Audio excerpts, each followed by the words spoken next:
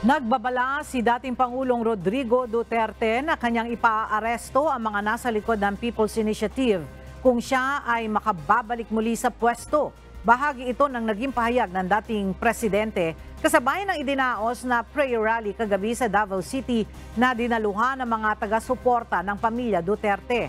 Giit ng dating Pangulo, walang mali sa pagrebisa ng konstitusyon. Subalit hindi dapat anyang gamitin ang People's Initiative para lokohin ang mga tao at hindi dapat na binibili ang boto o pirma ng taong bayan para dito. Nagbanta rin ang dating presidente ng pagkakanya-kanya sakaling ipipilit pa rin ng Kongreso ang pagsusulong ng People's Initiative.